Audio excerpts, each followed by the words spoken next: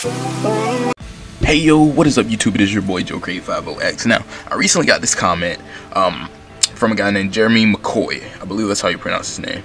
Now, he asks, bro, they need to give our character created, our character, cre our, our, our created characters, Time Patrollers, a new transformation. Simply because in DBZ Super, Super Saiyan God Blue Goku was struggling with Zamasu, but Super Saiyan 3 can keep up with a deity there there on there makes no sense to me at all.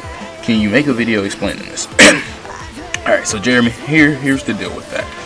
Now, Super Saiyan 3 Goku actually could not keep up with a deity, and I believe you're referring to Beerus.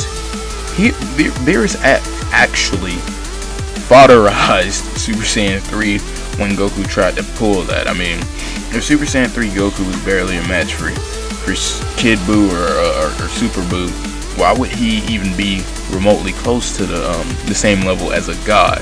And it has been stated before that Goku or Vegeta will never pass Beerus in strength thus far.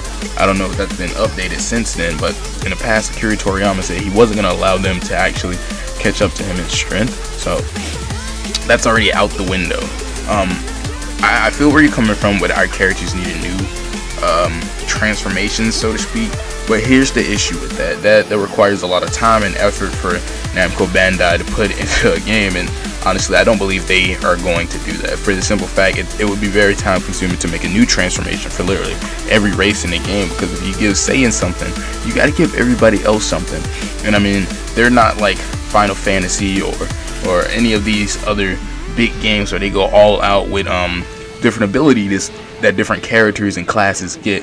So I feel where you're coming from, but we I can put it like this: it's we're not gonna get that.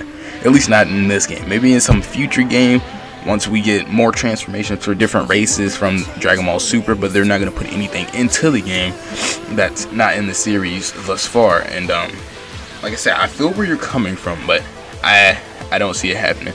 Now to this pretty much resolve your issue with um, Zamasu and all that. Well, for the record, Goku could actually beat Zamasu, and Vegeta could actually beat Black. They both were holding back. That's one thing.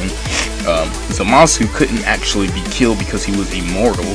Um, that's another issue.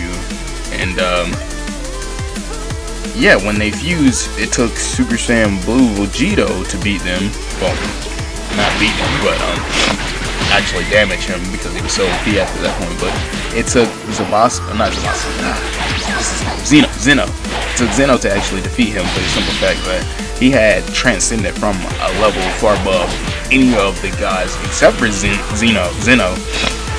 So the only person left, I mean, was to call him to actually erase him from existence versus um, just you know killing him off or knocking him out or what have you.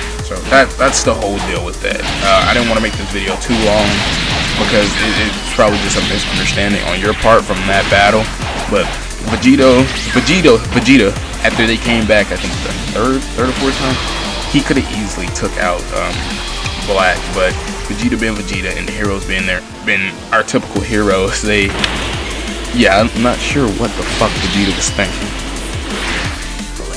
But yeah, man, um, if this video helped you out, comment, tell me what you think. And this video was a request from Jeremy McCoy. And as always, hope you guys enjoy the content, and I'll see you guys um, on the next one. I got another video coming out this week. This was just a request that I was doing. So, yeah, it's your boy Joker, your 5 x and we're out to the next one. Peace.